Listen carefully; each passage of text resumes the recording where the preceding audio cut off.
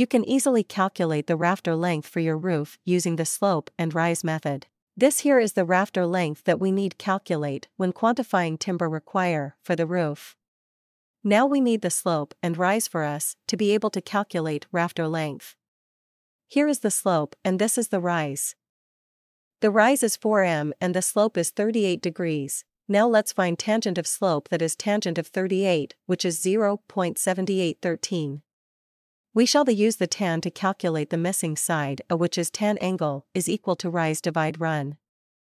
Therefore 0.7813 is equal to 4 divide by run A. If we tabulate that we get the run A to be 5.119 say 5.2 meters.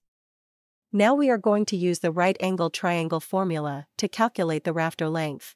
Therefore a squared plus b squared is equal to c squared, which is 5.2 squared plus 4 squared is equal to c squared. Tabulating that we get 43.04 is equal to rafter length squared.